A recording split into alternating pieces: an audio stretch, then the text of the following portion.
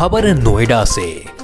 ज़िले में उनतालीस हज़ार सौ साठ बुज़ुर्ग, लगभग पच्चीस हज़ार स्वास्थ्य कर्मी और सत्रह हज़ार अग्रिम पंक्ति के कर्मचारी का होना है टीकाकरण। आपको बता दें कि गौतम बुद्ध नगर में सोमवार सुबह से स्वास्थ्य कर्मियों फ्रंटलाइन वर्कर और बुज़ुर्गों को कोरोना के बूस्टर डोज लगनी शुरू हो गई है। स्वास्थ्य विभाग की ओर से इक्यासी केंद्रों पर वैक्सीन लगाई जा रही है।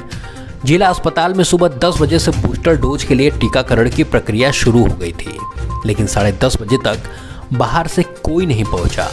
सर्वप्रथम अस्पताल के 10 स्वास्थ्य कर्मियों को वैक्सीन लगवाई गई। साढ़े दस बजे के बाद फ्रंटलाइन वर्कर और बुज़ुर्गों के बूस्टर डोज के लिए पहुँचने लगे। दिन है कि जो फ्रंट लाइन वर्कर्स हैं और सीनियर सिटीजन थे, जो साठ साल से ऊपर के व्यक्ति हैं, उन सबको बूस्टर डोज या प्रिकॉशनरी डोज लगाई जा रही है। क्योंकि हम सबको पता है कि इस समय ओमिक्रॉन की थर्ड वेव चल रही है और बहुत सारे लोग जिन्होंने नौ महीने पहले वैक्सीन लगाई थी, वो लोग दोबारा ससेप्टेबल हो गए हैं कि उनको दोबारा इन्फेक्शन हो सकता है। और बहुत सारे लोग ऐसे इन्फेक्ट भी हो रहे हैं। तो हमें इस समय दो लोगों को बचाने की ज़रूरत है।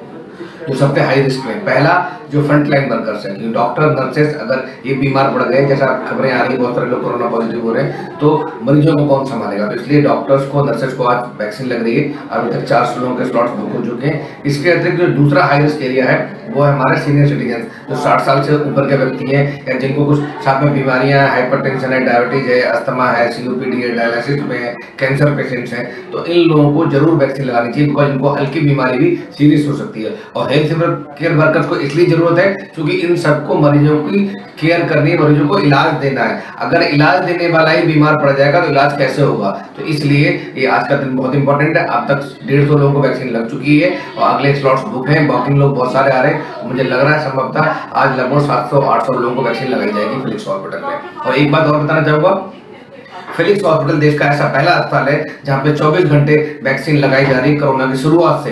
तो हम लोग कोरोना के खिलाफ एक जंग की तरह लड़ रहे हैं और हमारा एक ही उद्देश्य है कि जल्द से जल्द हर व्यक्ति को वैक्सीन लगाई जाए। इट्स एक्चुअली वेरी गुड कि हम फ्रंट लाइन वर्कर्स को वैक्सीनेटेड हम फील हो रहे हैं वी फील कि हम बहुत प्रोटेक्टेड हैं. एंड आई वुड वांट कि सब लोग जितने भी हैं इंडिया में फ्रंट लाइन वर्कर्स सब अपफ्रंटली जाके अपने आप को वैक्सीनेट करवाएँ सिक्योर फील हो और दूसरों को भी इसकी जागरूकता दे कि वो जाएँ और अपने आप को वैक्सीनेटेड करवाएँ.